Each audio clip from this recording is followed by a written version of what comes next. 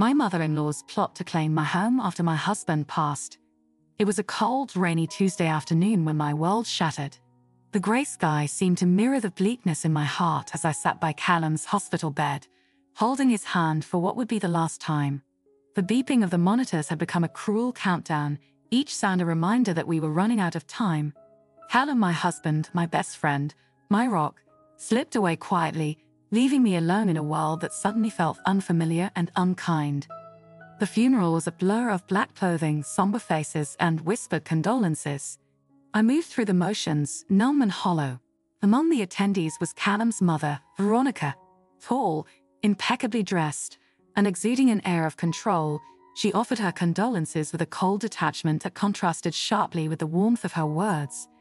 As she hugged me, she whispered, We'll get through this together, but her tone carried a weight that felt more like a command than comfort.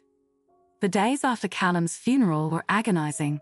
I wandered through our house, now too large and too empty, haunted by memories of our life together. Veronica's presence became a constant. She would arrive unannounced, her manner more businesslike than comforting.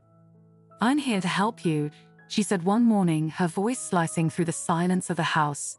There's so much to take care of, and I want to make sure everything is handled properly. At first, I was grateful for her support. I was overwhelmed and barely functioning, so I let her take the reins. But as days turned into weeks, her help began to feel more like control. She reorganized the kitchen, moved furniture, and even suggested selling certain items that held deep sentimental value to me. One evening, I found her in Calum's study, sorting through his personal papers. What are you doing? I asked, trying to keep my voice steady. These things need to be organized, she replied without looking up. We can't keep everything. It's time to start moving on. I felt a surge of anger and sorrow. These are Calum's things. You have no right to touch them without my permission. Veronica's expression hardened. I'm only trying to help you move forward. You're not thinking clearly right now. Her words stung, and I realized that Veronica wasn't just trying to help, she was trying to take control. I needed to find a way to reclaim my life and my space.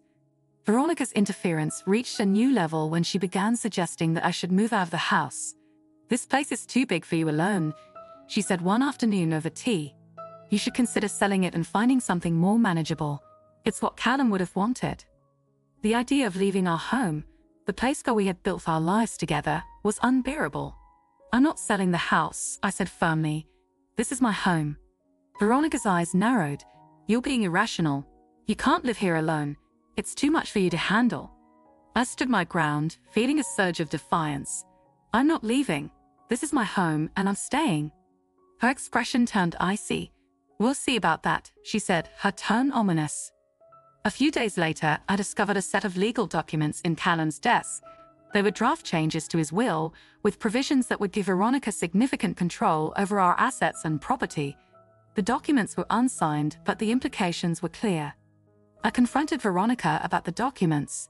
Why are you trying to change Calum's will? I demanded, holding up the papers. Veronica's face went pale. I was just trying to ensure that everything was in order, she stammered. Calum wanted to make sure you were taken care of. I didn't believe her. These changes would have given you control over everything. Why would Calum do that? Her eyes narrowed. You don't understand. Calum trusted me to handle things. He knew I would make the right decisions. I felt a chill run down my spine. Veronica's manipulation went deeper than I had realized. I needed to find out the truth about her intentions. Determined to uncover the truth, I began investigating Veronica's past. I contacted old friends and acquaintances, digging into her history. What I found was a pattern of control and manipulation. Veronica had a history of inserting herself into her children's lives, often to the detriment of their relationships. I discovered that Calum's father had left under mysterious circumstances when Calum was a child. The official story was that he had abandoned the family, but whispers among old friends suggested that Veronica had driven him away with her controlling behavior.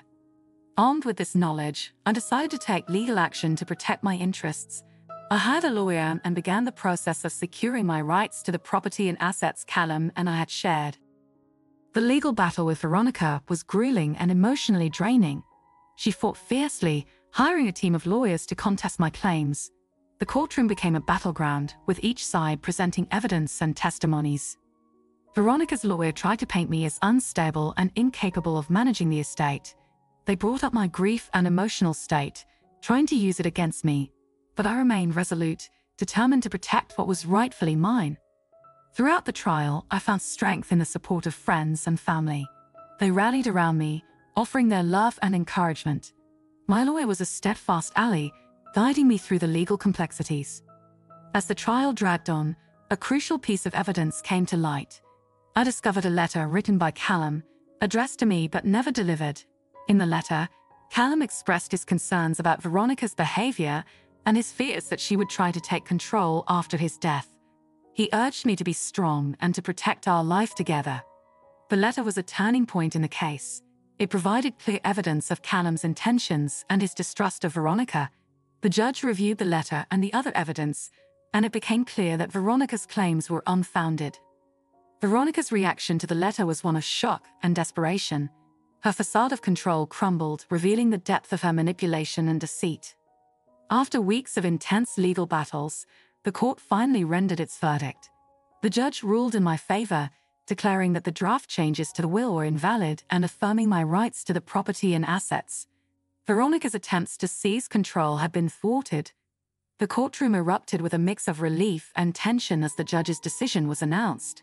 Veronica's reaction was one of defeat. Her attempts to control my life had been exposed and invalidated.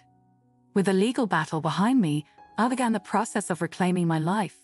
I took steps to distance myself from Veronica and her toxic influence. I focused on healing and rebuilding, finding solace in the support of loved ones.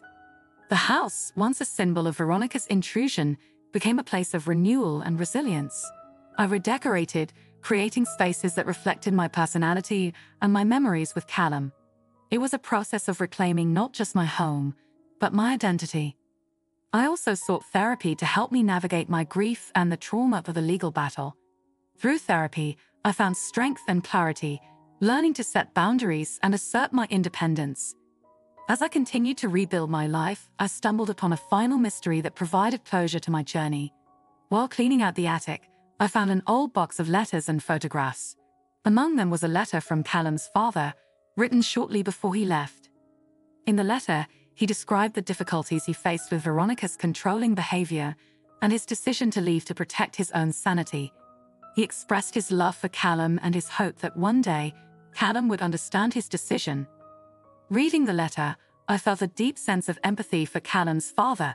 It provided a new perspective on Veronica's behavior and the cycle of control that had plagued their family, it was a reminder that my struggle was not just about my own life, but about breaking a pattern of manipulation.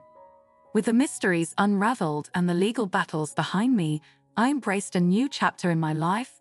I focused on honoring Calum's memory by living fully and authentically. I pursued my passions, reconnected with old friends, and opened my heart to new experiences. The journey had taught me invaluable lessons about strength, resilience, and the importance of self-advocacy, it had shown me that even in the face of overwhelming challenges, we have the power to reclaim our lives and shape our destinies. As I moved forward, I carried with me the love and memories of Calum, knowing that he would be proud of the person I had become. The story of our struggle became a testament to the enduring strength of the human spirit and the importance of fighting for justice and independence.